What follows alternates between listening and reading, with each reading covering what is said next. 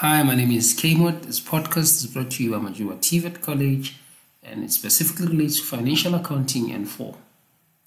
In this presentation, I'm hoping to assist students with debtors control account. I'd like to look at one of the previous question papers, which was written on the 10th of June 2016. Question 1 specifically required candidates to prepare the debtors control account. I'm going to use an Excel spreadsheet to illustrate the preparation of the debtors control account. Without wasting your time, I'd like us to go to the given information as per the question. Question 1 related to coastal traders and candidates were required to use the given information below to draft the debtors control account in the general ledger. Candidates were specifically required to present the balance on 31st of May 2015. That was the given information. I clearly want to emphasize that not all information impacts the preparation of the debtors control accounts.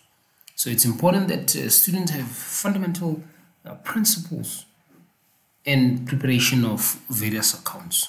As you'd see that uh, certain information relates to other accounts. For argument's sake, if you look at balances on 1st of May, you see you're given two balances. One of the balances relevant to preparation of debtors control account.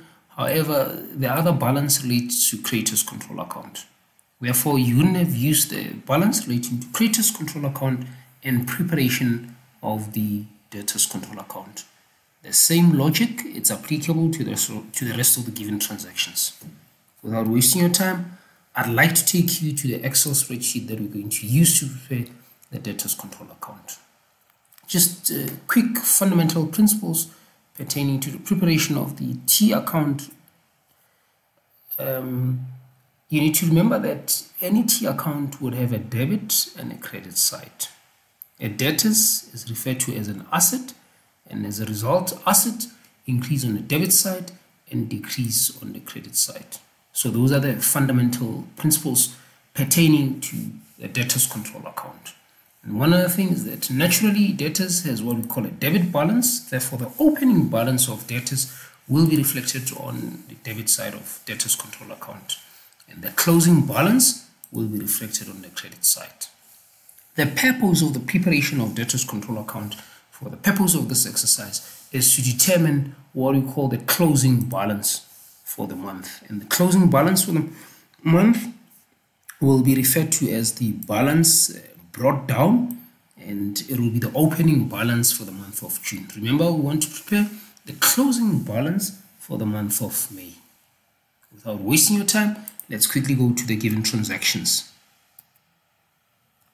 There you go. Uh, the first transaction relates to debtors control account and it consists of balances. So it's balance, this is the opening balance. So I'm going to take that amount, I'm going to take it to the debit side, I've already explained that the opening balance will be taken to the debit side. It was 45,000, 45,500. I'm going to take it to the debit side. I'm going to call the description, it's called balance as it relates to the balance. Just quickly, let's explain our cosmetic columns. Remember, we have that column, we have that column, the description column, the other column, and we also have the amount column. I'm going to start there that column communicates the date. It's, it's always important to tell the users of financial information or financial statements uh, uh, dates pertaining to each transaction. So the balance was for May, that's the month of May 2015. There you go. And this column, I'm going to use it for a specific uh, day. So it was on the 1st of May. There you go. And that column, we're going to use it, uh, it's a folio column. We're basically going to provide uh, folio numbers. In this case, this is a balance and it's the balance brought down beginning uh, balance. So we're going to indicate by BD. That's referred to as the folio number relating to that uh, balance. Moving along swiftly, let's go to the next transaction. As I've mentioned, that transaction relates to creditors we're not going to take into account. Now we're quickly going to go to a cash receipt journal and see if there are any transactions specifically relating to debtors. that transaction is the only transaction that impacts uh, debtors. Uh, the rest of the transaction impacts different uh, accounts. Therefore, I'm going to focus my attention on that uh, transaction in preparation of the debtors control account. This is a cash receipt journal. What it means is that the business received cash from its debtors. When the business receives cash from its debtors, uh, the debtors balance will be decreased. Therefore, that amount will be taken to the debit side of debtors. So I'm going to take it to the debit side. 50,400. Remember, bank, the bank of the business is increasing. So this is a contra account. Remember, in accounting, we employ what we call the double entry system. For every credit, there has to be a debit.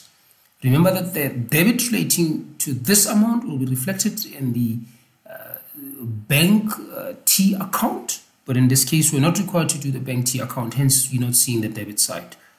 But to cut the story short, to complete the double entry system, this was going to be reflected in the debit side of the bank.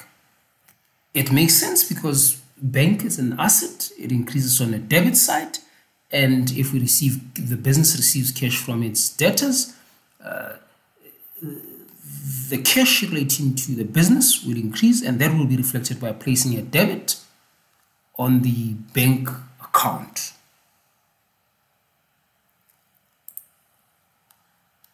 We're going to, I just want to write the uh, folio number. Remember it relates to cash received journal, that's the source, so we're going to say CRJ.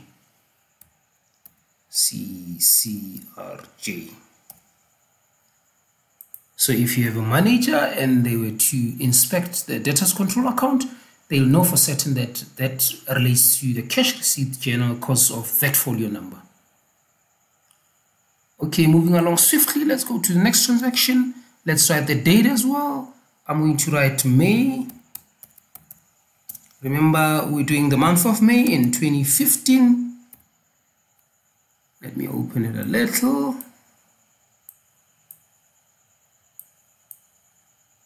I'm not able to open that. Apologies, I need to go there. Let me copy. Okay, let me write the date again. So it's May 2015. Still doesn't reflect, it doesn't matter. What I'm going to do, I'm going to copy this. I'm just going to copy, I'm going to paste it there. Okay, let's open it. Okay, not a problem. I'm wasting time. I'm just going to leave it blank, but I wanted to write uh, May uh, 2015 to indicate that the transaction occurred within that month. We're not given specific dates, so I'm going to write the 31st because we want to obtain the balance uh, on the 31st. We're still having problems. I'm just going to leave it because I don't want to waste your time. But essentially, I would have written dates in there. Let's quickly go to see other transactions. There aren't any transactions specifically relating to the cash received journal that affect status. Moving along swiftly, cash payments. Uh, cash payments, we do have something that specifically affects debtors because it, it arose from cash payments. It will be taken to the debit side. It will be taken to the debit side. And our bank will be impacted in the sense that our bank will uh, decrease. Um, so if you go to the bank account, you'll see that amount reflected on the credit side of the bank account because uh, bank is uh, decreasing because uh, the business is making payments that is due to debtors for whatever reason. And that uh, it's attributable to the C CPJ. There you go. The same logic applies uh, in, in, in, in regards to the logic behind the CPJ. Remember, so that uh, the auditors or, or just any other accountant can be able to trace exactly the source relating to the transaction. Next transactions relate to creators creditors journal. None of those transactions impact the preparation of the debtors control account. None of those transactions, I'll highlight for ease of reference, impact the preparation of the debtor's uh, control account. I mean, it's quite clear. It relates to creditors. It creditors allowance. I don't even want to waste your time and talk about it. None of those transactions impact the preparation of debtors control account. There you go. You're always given a hint. Debtors, definitely this will um, affect the debtors control account. We're given two uh, transactions or two amounts. One relates to sales.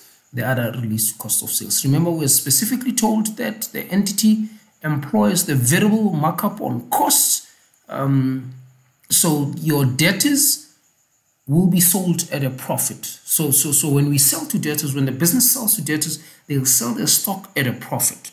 So we're going to take that amount because our debtors is, is, is at cost plus a profit portion to arrive at the selling price. So we're going to take that amount. This relates to sales uh, that were for credit by the business. So it increases our asset called debtors. I'm going to take it to the debit side. There you go.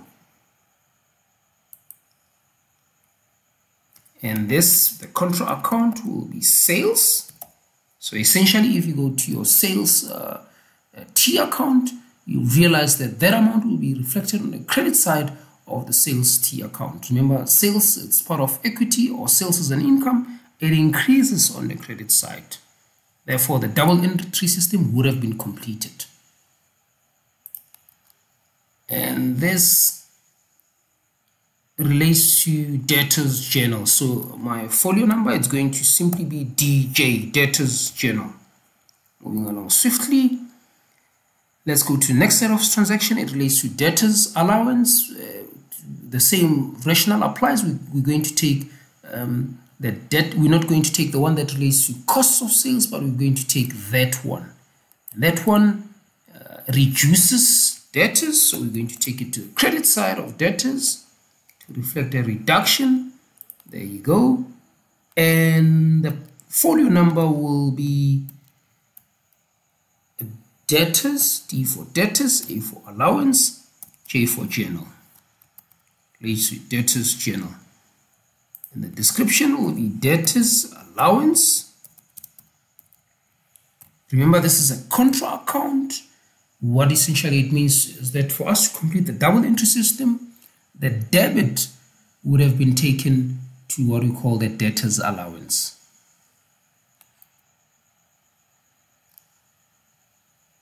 Moving along swiftly, the last transactions we're going to deal with relates to general journal. So uh, this is these are what we call sundry debtors. We're specifically told to take the 240 to the debit side. Let's do exactly that.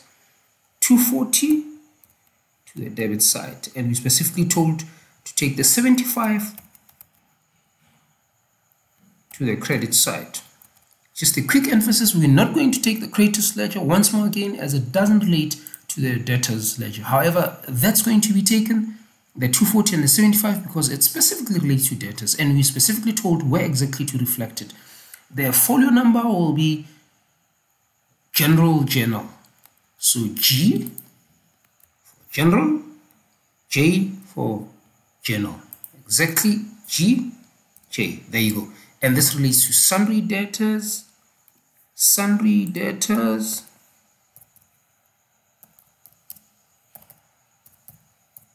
So these are small, just your small debtors.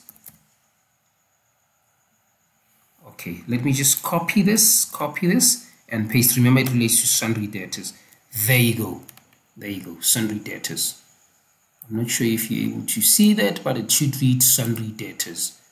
Am I able to open it a little? Let's see.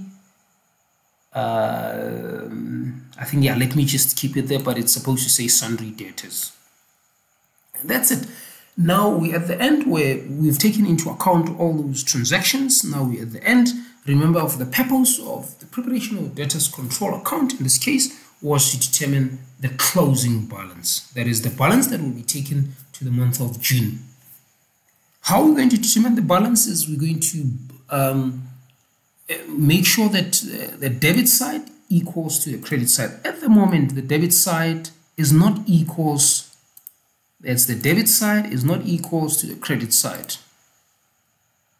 I'm not sure if you're able to see that they're not equal. So we're going to obtain what we call a balancing figure. Um, we have to determine the balancing figure on the credit side because we want the credit side at the end of the day to be equal to the debit side. So essentially we're going to we're going to take I'm going to say equals to this is just basic math. You're going to take the total of the debit side. Okay, allow me to do it here so I'm going to say equals to, I'm going to take the total of that, I'm going to, to minus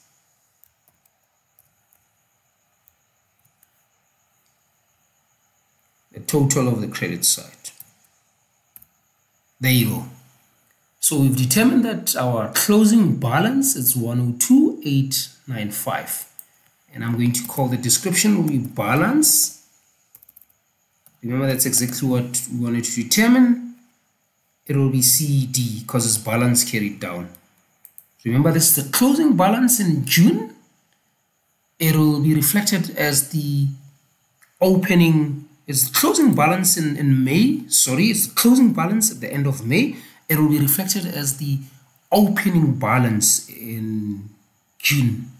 I just quickly want to write there, June, if it allows me, 2015. There you go, it did allow me.